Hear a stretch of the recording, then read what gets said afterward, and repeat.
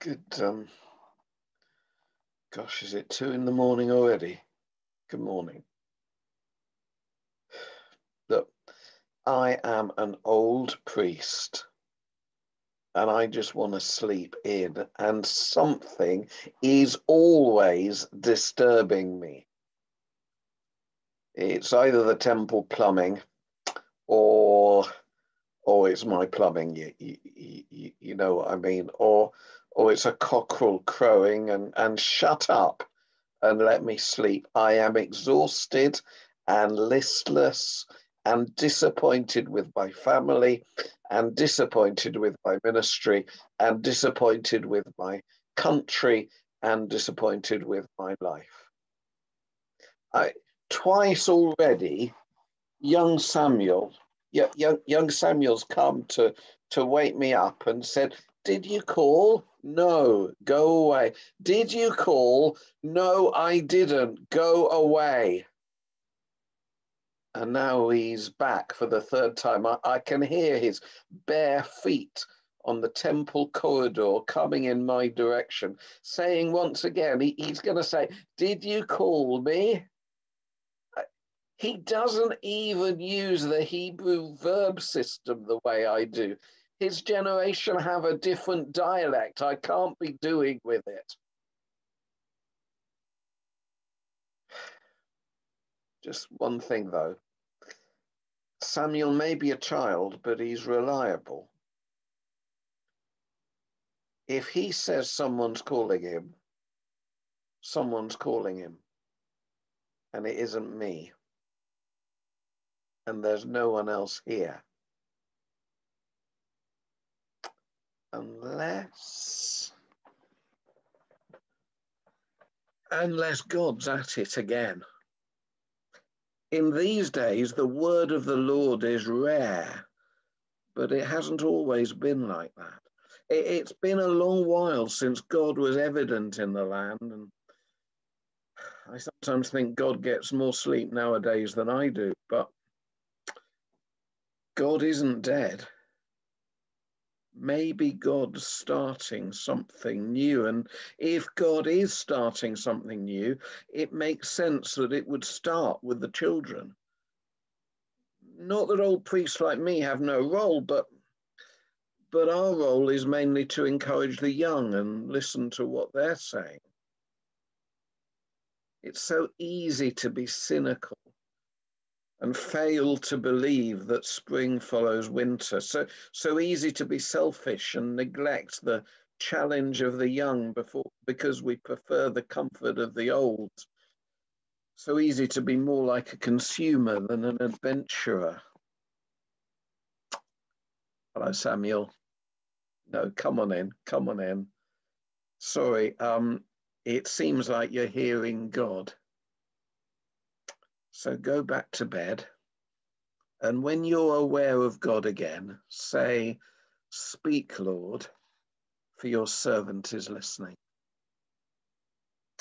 Samuel, most of us never hear a voice when we're aware of the call of God, but in the silence, just you being you in the presence of God being God, maybe you'll be aware of bringing things to the surface of your mind. Don't push it. Don't pretend you're certain when you're not, but be open to the possibility of a call. And when you've learned to be aware of God in the silence of the night, you'll also start to bring God things you notice in the daytime. You'll say, I, I, I, don't know, God, here's a thing in Israel that I've noticed and it bothers me. And then you and God will muse about it together. And maybe you'll find your mind drawn to a certain passage of the scriptures that you're learning to read. And out of that will come a new certainty of what you should do. And Sorry, Samuel, I'm, I'm making it all a bit too complicated, aren't I? All you need are seven words. Speak, Lord, for your servant is listening. Samuel, go back to bed and listen. Oh, and Samuel, good luck. There he goes. Don't think I'm going to get back to sleep tonight, though. And it's not just the plumbing or the waterworks. Deep down, I do have a sense of what God's going to do. Man of God came and told me a few months ago God is going to make some changes around here. God's going to reorganize worship in Israel. And God's right. I know God's right, but that didn't make it easy to hear. Like a lot of older people, I'm happier facing backwards and seeing the good old days than facing forwards and seeing the good but difficult new days. I, I mean, part of me still wishes we could go back to the good old days, but for me, the good old days were the time of Samson. And Samson was psychotic. And he died 25 years ago, demolishing a sports stadium as he went. So maybe the good old days weren't that good after all. In the morning, I'll have to encourage Samuel to tell me what he's sensing God saying. Even though he's a good kid and he's fond of me, and he won't want to tell me the bad news. Samuel will be gentle with me and give me time to get used to it. I need that. But I'll tell him not to get too attached to the way we do things in the mo- at the moment. I reckon this whole temple's going to get packed up and moved somewhere else, maybe Jerusalem. And that will be part of a new golden age for the people of God. But I will no, not see that in my lifetime. I haven't been a very good priest, but this much I know God is the Lord, and I'm not. And in the long term, the very long term, I can trust God to do what's right.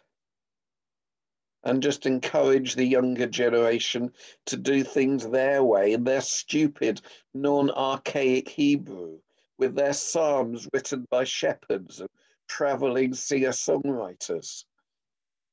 When I'm dead and gone, everything I did will be lost and forgotten.